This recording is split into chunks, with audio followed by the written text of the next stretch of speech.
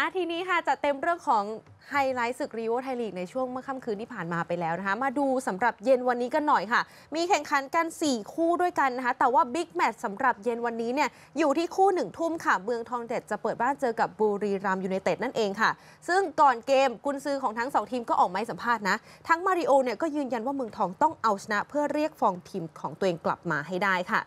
เกมวันนี้นะคะเมืองทองยูไนเต็ดค่ะทีมอันดับ 9 ของตารางค่ะ เปิดสนามทันเดอร์โดมสเตเดียม รับการเยือนของจ่าฝูงบุรีรัมย์ยูไนเต็ดในค่ำวันนี้เวลาหนึ่งทุ่มตรงค่ะ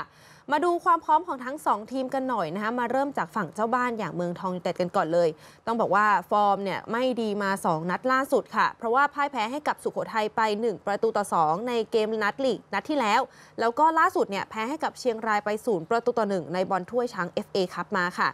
ซึ่งความพร้อมของทัพกิเลนผยองในค่ำคืนวันนี้นะคะก็ต้องเช็คฟิต 3 ผู้เล่นกำลังหลักค่ะ ไม่ว่าจะเป็นวีรเทพป้อมพันธุ์นะ แล้วก็รวมถึง 2 นักเตะโควตาต่างชาติอย่างเยสเปอร์นีโฮล์มแล้วก็รวมถึงซาร์ดอร์มีร์ซาเยฟค่ะ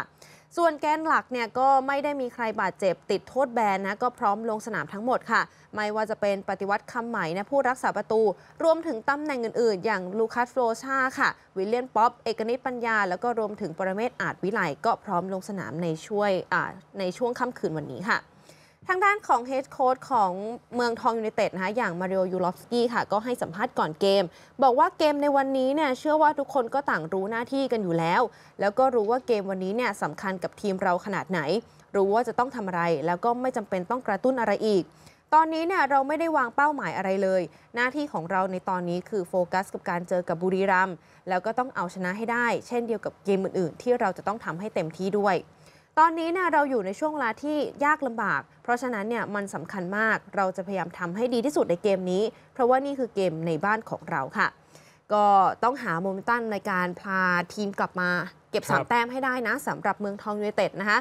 ทีนี้มาดูความพร้อมของฝั่งทีมเยือนอย่างบุรีรัมย์จ่าฝูงกันหน่อยค่ะ ถึงแม้ว่านัดล่าสุดเนี่ยกว่าจะเอาชนะอุทัยธานีมาได้ก็ต้องเล่นกันถึงช่วงต่อเวลาพิเศษ ในฟุตบอลถ้วยช้าง FA ครับนะ แต่ว่าขุมกำลังของทัพปราสาทสายฟ้าเนี่ยวันนี้ก็ไม่มีใครบาดเจ็บ แล้วก็รวมถึงไม่มีใครติดโทษแบนเลยค่ะ พร้อมที่จะจัดชุดใหญ่ลงสนาม ไม่ว่าจะเป็นธีราทรศุภชัยนฤบดินทร์เรบินซูลาก้านะคะรวมไปถึงโกรันเคาซิช แล้วก็รวมไปถึงดาวยิงต่างชาติสโลวีเนียอย่างฮาริสวุคกิชค่ะ ที่นัดล่าสุดในบอลถ้วยเนี่ยไม่มีชื่อ ก็จะได้กลับมาลงตัวจริงในนัดนี้เช่นเดียวกัน